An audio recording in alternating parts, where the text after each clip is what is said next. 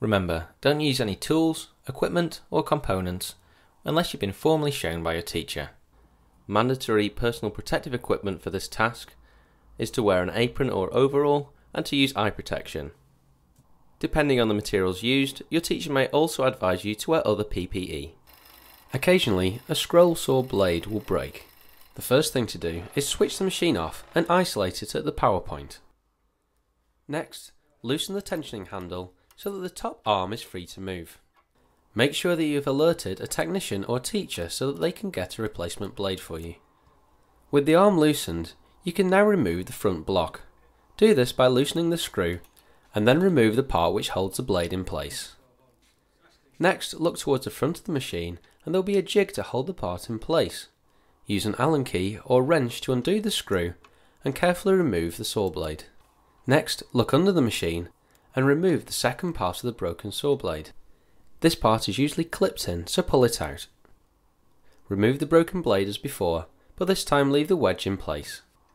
Now, put the replacement blade in the slot, make sure it's centered, and tighten up the machine screw with your fingers, before finishing it off with a wrench or Allen key.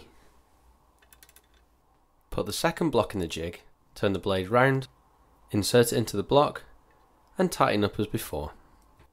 Next we'll need to make sure that we put the blade in the right way round. When following the next steps, make sure that the teeth of the blade are facing down towards the machine bed.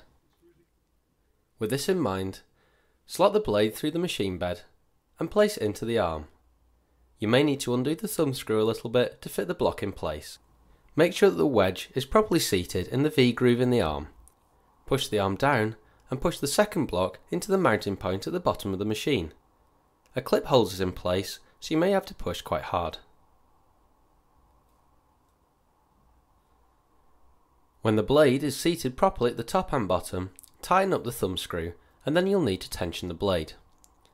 To do this, tighten the tensioning handle by turning it clockwise and then pluck the blade like a guitar string. As you pluck, continue to tighten until the pitch raises. When the pitch doesn't rise anymore, stop tightening.